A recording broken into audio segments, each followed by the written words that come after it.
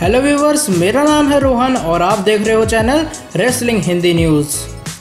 I am still in the shock ऐसा मैं इसलिए कह रहा हूँ क्योंकि मनी इन द बैंक का पेपर व्यू खत्म हो चुका है। रिजल्ट्स की वीडियो काफ़ी जल्दी आपको चैनल पर मिलने वाली है, लेकिन उससे पहले एक बहुत ही शॉकिंग चीज़ हुई है इस मनी इन द बैंक की पेपर व्यू में, और वो ये कि mister money in the bank 2019 है former universal champion the beast incarnate Brock Lesnar सही सुन रहे हैं आप ब्रॉक लेसनर के पास आ चुका है mister money in the bank twenty और इस वीडियो में डिस्कस करेंगे किस तरीके से स्टोरी चली आज मनी इन द बैंक के पेपर व्यू में, किस तरीके से हुआ ब्रॉक लेसनर का रिटर्न और किस तरीके से उन्हें मिली चैंपियनशिप की अपॉर्चुनिटी जब उन्होंने जीता money in the bank twenty का 2019 का ब्रेक टेस्ट है वीडियो बहुत ही इंटरेस्टिंग होने वाले और काफ़ी ज़्यादा मैं कह सकता हूँ इंटरेस्टिंग ज़रूर होगी। आप इसे लास्ट तक ज़रूर देखिए। आपको बता दूँ, हमने देखा किस तरीके से रॉक एपिसोड में ब्रॉन्स टमन को रिप्लेस कर दिया गया था सैमी जेन की तरफ़ से। जब सैमी जेन ने Drew McIntyre and Baron Corbin की हेल्प के ज़रिए यहाँ पर हरा दिया था ब्रॉन्स टमन को, और सैमी जेन के चलते यहाँ पर हमें दिखाई देता मनी द बैंक के पेपर व्यू की शुरुआत में ही। ब्रॉन्स टमन इधर उधर ढूंढते होते हैं किसी सुपरस्टार को, और यहाँ पर लगता है ऐसा हम सभी को कि वो ढूंढ रहे हैं सैमी सेन को ताकि वो उन पर अटैक कर सकें। और होता क्या आपको बता दूँ, जैसे मनी द बैंक का पेपर व्यू चलता होता है अचानक से बीच में,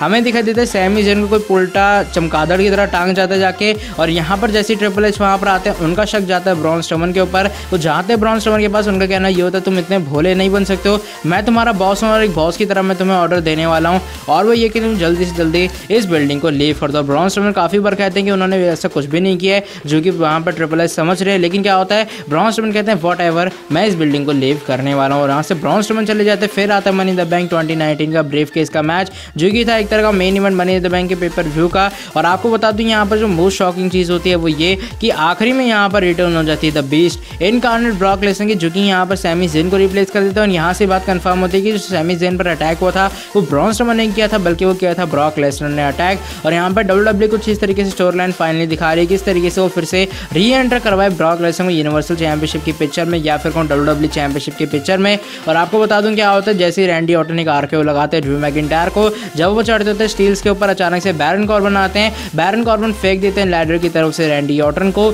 और उसके बाद क्या होता है, जैसे बैरन कॉर्बन जीतने वाले होते हैं, mister money in the bank 2019 बनने वाले होते हैं, वहाँ से ब्रॉक लेसन आते हैं, काफ़ी आसानी से धक्का देते हैं इधर उधर हँसते थोड़ी बहुत, और उसके बाद मनी इन द बैंक का ब्रेड केस खोल लेते हैं, और हाथ में लेकर वहाँ से चले जाते थे मोस्ट शॉकिंग चीज़ थी, आज के मनी इन द बैंक के पेपर व्यू में, और एक थी कुछ तरीके से स्टोरी जिस तरीके से डब्ल्यू डब्ल्यू ने हमें दिखाया ब्रॉक लेसन का रिटर्न बाकी आगे कोई भी अपडेट होते कब तक वो करेंगे अपना इस money in the bank briefcase को कैश इन उसकी अपडेट भी आपको चैनल पर मिलेगी, लेकिन stay tuned for money in the bank twenty के बाकी रिजल्ट्स की बाकी मैचेस भी कहीं ना कहीं सुपर से ज़रूर ऊपर थे। तो बस यार ये थे धमाकेदार और इंटरेस्टिंग वीडियो आप सभी के लिए। अगर इस वीडियो को देख के आपको थोड़ा सा मज़ा है या फिर ये शॉकिंग मोमेंट था आप सभी के लिए तो नीचे जाकर वीडियो को लाइक मार दो कमेंट करके आप लोग बताना आपकी क्या थॉट्स है ब्रॉक लेसन के new money in the bank बनने के बारे में। इसके अलावा कर सकते हो आप लोग चैनल को सब्सक्राइब एंड नोटिफिकेशन बेल को ऑन ताकि इन फ्यूचर आपको डब्ल्यू डब्ल्यू और रेसलिंग से जुड़ी ऐसी बड़ी और धमाकेदार इंटरेस्टिंग अपडेट डेली जानने को मिलती रहे। तो मिलता हूँ आपसे अगले से धमाकेदार वीडियो के साथ। तब तक के लिए good bye and take care